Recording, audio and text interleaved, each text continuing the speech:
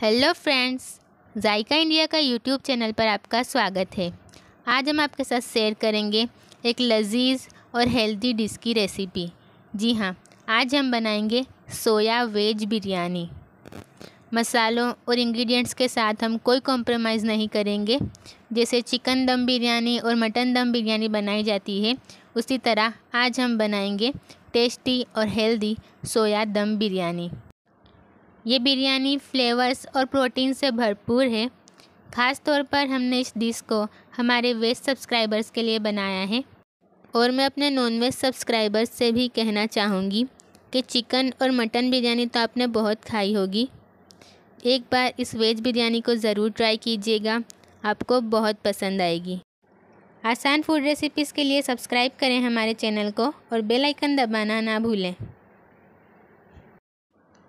सोया veg biryani बनाने के लिए हमने यहाँ पर 200 ग्राम सोया चंक्स लिए हैं। तो सबसे पहले हम इन सोया चंक्स को पानी में भिगो देंगे। सोया चंक्स को भिगोने के लिए हमने यहाँ पर तकरीबन दो लीटर तेज़ गर्म पानी लिया है। देखिए, पानी का यहाँ पर गर्म होना ज़रूरी है। तो हमने यहाँ पर जो गर्म पानी लिया है, उसमें हमने सारे सोया चंक्स को ऐड कर दिया। अब हम इसे 10 मिनट के लिए भिगो देंगे। तब तक हम इसका मेरीनेशन तैयार कर लेते हैं। मेरीनेशन तैयार करने के लिए हमने यहाँ पर एक बड़ा मिक्सिंग बोल लिया है। इसमें हम ऐड कर देंगे दही। तो यहाँ पर हमने 200 ग्राम दही ली है। अब हम इसमें सूखे मसाले ऐड कर देंगे। तो हमने ली है एक टीस्पून कश्मीरी लाल मिर्च पाउडर। दो टीस्पून लाल मिर्च पाउडर, एक टीस्पून हल्दी पाउडर, दो टीस्पून नमक और दो टीस्पून धनिया पाउडर।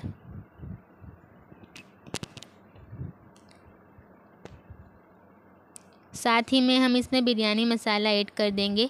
देखिए, बिरयानी मसाला आप किसी भी ब्रांड का ऐड कर सकते हैं। इसकी क्वांटिटी तकरीबन दो टेबलस्पून होगी।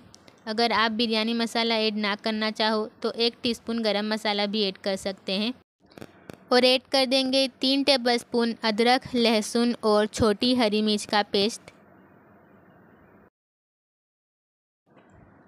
मैरिनेशन के इन सारे मसालों को अच्छे से मिक्स कर लेंगे. तो यहाँ पर सोया चंक्स को भिगोए हुए दस मिनट हो चुकी है. हमने इसका सारा गर्म पानी छन्नी की मदद से निकाल लिया और नॉर्मल टेम्परेचर का पानी हमने इसमें ऐड किया है. अब ये जो सोया चंक्स है, इसका सारा पानी हम इस तरह से हाथों की मदद से निचोड़ कर निकाल देंगे। हाथों की मदद से सारा पानी निचोड़ कर निकालने के बाद हम इसे मैरिनेशन में ऐड करते रहेंगे। सोया चंक्स को मैरिनेशन के साथ हम अच्छे से मिक्स कर लेंगे।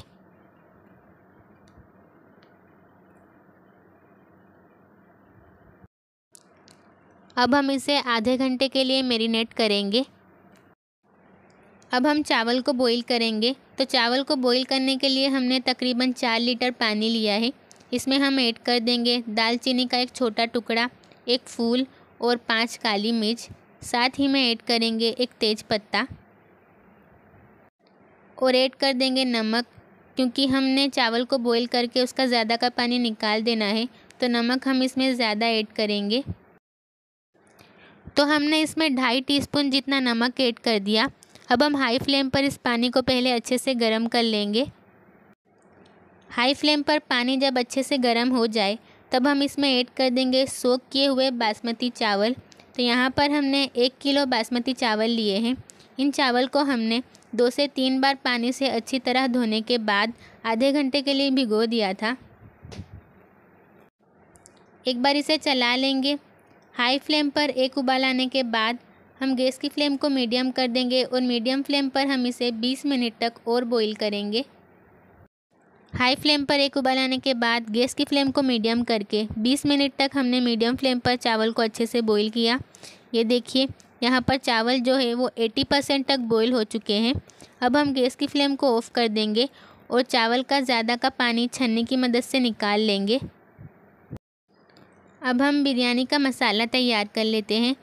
क्योंकि हम इसी बर्तन में बिरयानी को दम करने वाले हैं, इसलिए हमने यहाँ पर थोड़ा बड़ी साइज़ का बर्तन लिया है। मसाला तैयार करने के लिए हमने यहाँ पर 200 सौ तेल अच्छे से गरम कर लिया। इसमें हम कुछ खड़े मसाले ऐड करेंगे, जैसे कि एक दालचीनी, एक फूल, एक जावत्री का फूल, पाँच लौंग, पाँच काली मिर्च और दो छोटी इलायची। साथ ही में हम इसमें ऐड कर देंगे एक चौथाई टीस्पून जीरा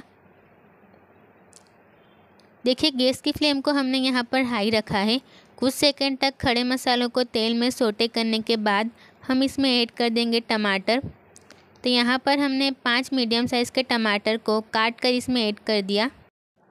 अब हम टमाटर को तेल में तब तक फ्राई करेंगे, जब तक ये सॉफ्ट ना हो जाए। तो यहाँ पर हमने टमाटर को सॉफ्ट होने तक हाई फ्लेम पर तेल में अच्छे से फ्राई कर लिया। एक बार इसे चला लेंगे और अब हम इसमें ऐड करेंगे हमारा तैयार किया हुआ मेरीनेशन अब हम इसमें ऐड कर देंगे फ्राई किए हुए आलू. तो यहाँ पर हमने दो मीडियम साइज़ के आलू को इस तरह के बड़े पीसीस में कट कर लिया और इनको तेल में दो मिनट के लिए हाई फ्लेम पर फ्राई करने के बाद हम इसमें ऐड करेंगे. साथ ही में हम इसमें ऐड कर देंगे फ्राई की हुई प्याज. तो यहाँ पर हमने 700 ग्राम प्याज को तेल में गोल्डन ब्राउन होने तक अच्छे से फ्राई कर लिया था।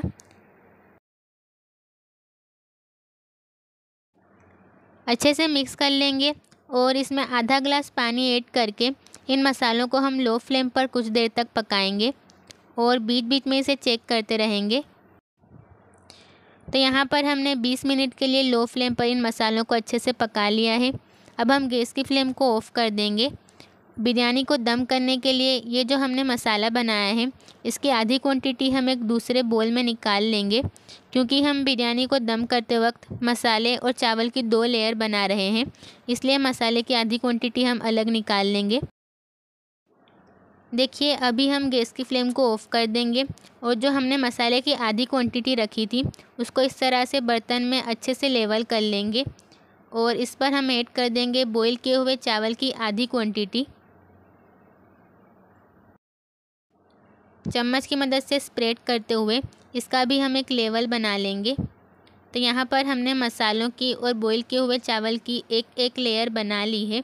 अब बाकी का जो हमने मसाला निकाला था, उसे भी हम इसमें ऐड कर देंगे। देखिए, बिरयानी को दम करने के लिए हम चावल और मसाले की दो लेयर बना रहे हैं। अगर आप चाहें तो चावल और मसाले की सिर्फ़ एक लेयर भी बना सकते हैं। देखिए, चावल की दूसरी लेयर ऐड करने से पहले हम इसमें ऐड कर देंगे थोड़ी सी फ्राई की हुई प्याज। तो तकरीबन दो टेबलस्पून जितनी हमने इसमें फ्राई की हुई प्याज ऐड की। साथ ही में हम इसमें ऐड कर देंगे बारीक कटा हुआ हरा धनिया और पुदीना। तकरीबन दो टेबलस्पून जितना हमने बारीक कटा हुआ हरा धनिया और पुदीना ऐड कर दिया और अब ऐड कर देंगे छोटी हरी मिर्च। अब हम इसमें ऐड कर देंगे बॉईल किए हुए चावल की क्वांटिटी, जिसको हमने सेकंड लेयर के लिए बचा के रखा था। चम्मच की मदद से इसे भी लेवल कर देंगे ताकि इसकी लेयर अच्छे से सेट हो जाए।